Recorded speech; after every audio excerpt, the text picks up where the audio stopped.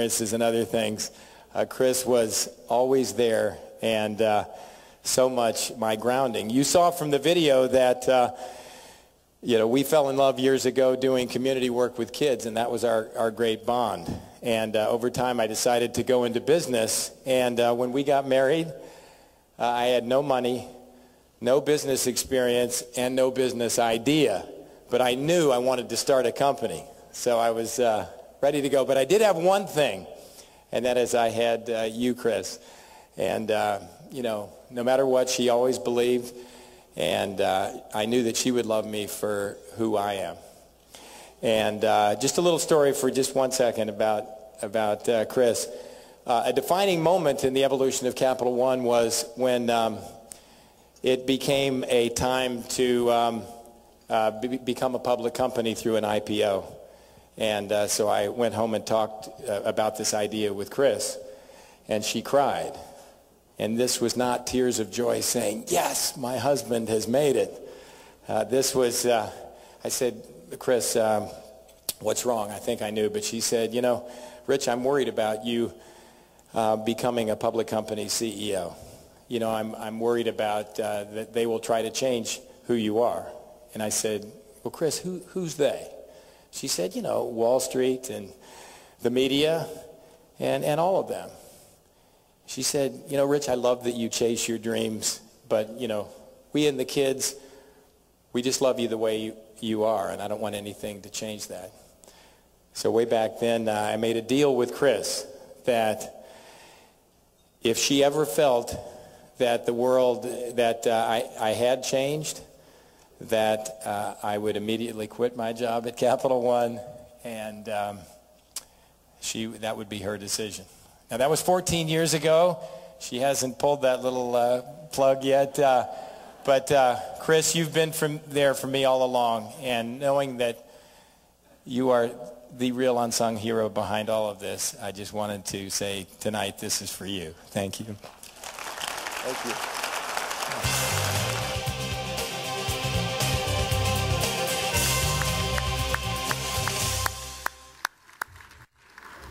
Well, Richard, I, I want to also thank you as a member of the, the Board of Junior Achievements uh, for stepping up uh, for, for Finance Park.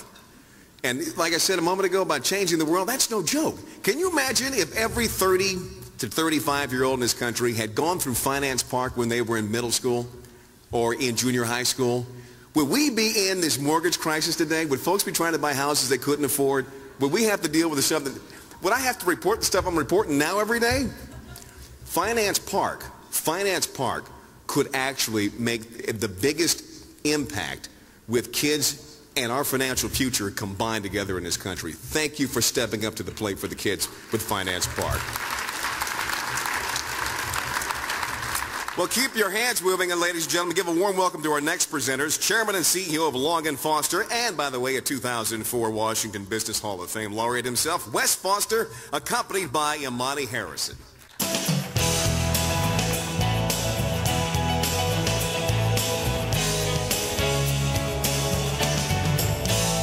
Donald Graham is chairman and CEO of the Washington Post Company. He presides over an empire that is black and white and red all over.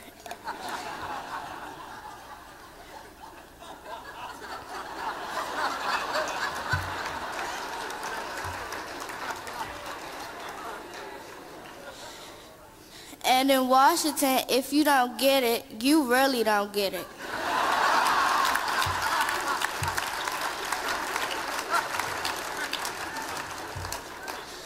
Right, Mr. Foster? You ready for me? Thank you. That was wonderful. You want to stay right there. That's a hard act to follow, you know. You're very good. I have to read mine. You've got yours all memorized. You were wonderful.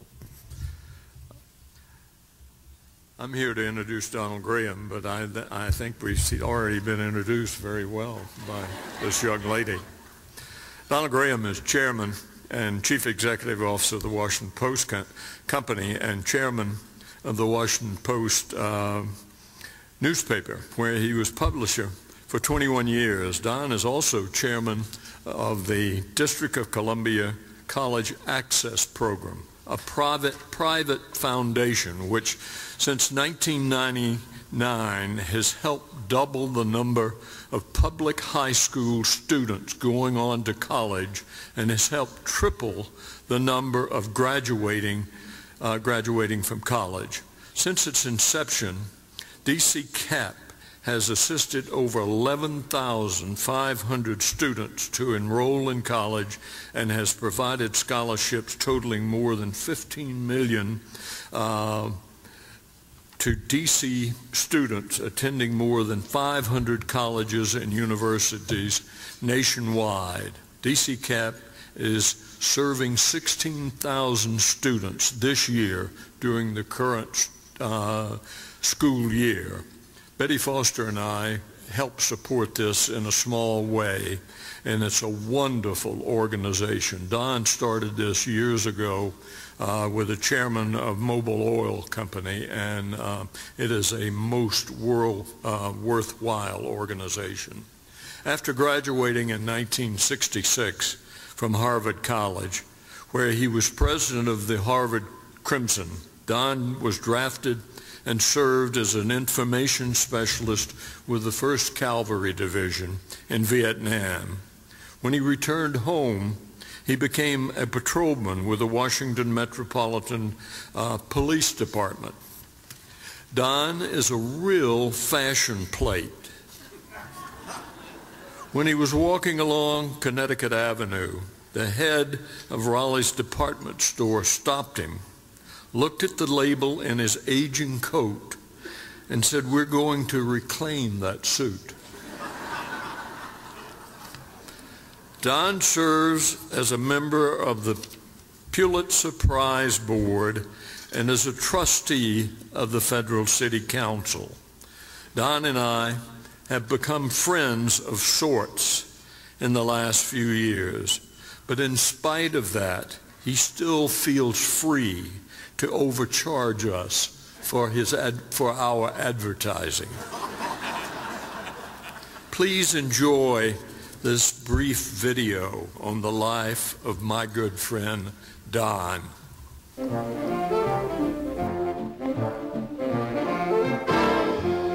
I grew up in Washington. I went to St. Albans. We rode to school on streetcars. You could uh, go to ball games at Griffith Stadium. You could go to these wonderful jazz and rock and roll concerts at the Howard Theater on weekends. My dad was the publisher of the Post and a remarkable figure. He was a Supreme Court clerk, worked in the government, served in World War II, and was devoted to this country and to the paper. After his death in 1963, my mom took over the, the company and ran it. So the two of them were indelible imprint in my life. When I graduated from college, I was drafted into the Army, spent two years in the U.S. Army with the 1st Cavalry Division in Vietnam, not as an infantryman in the Public Information Office. Vietnam was when I uh, really thought about it and decided I couldn't imagine anything in, I could do in life that could make more of a difference than, than uh, running a newspaper. And I wasn't there two days before I realized this, you know, this, this is different. And it made me think about the impact that news and newspapers can have, and, and I'm still thinking about it. I've focused a lot of my own time and effort on an organization called the DC College Access Program, and I'm as proud of that as anything I've ever done in business. I run a company, the Washington Post Company, that's been shaped by a lot of great people. Most of the job of building the Post was done by my grandfather and my father and then my mother. The other huge influence on the company over the years has been Warren Buffett, who bought 10, percent of the Post in 1974 and has been on our board ever since. The stories that I think kids who are interested in business ought to take a look at are the people who really started with nothing but desire started with nothing but work ethic and, and an ability to focus on what was most important to him.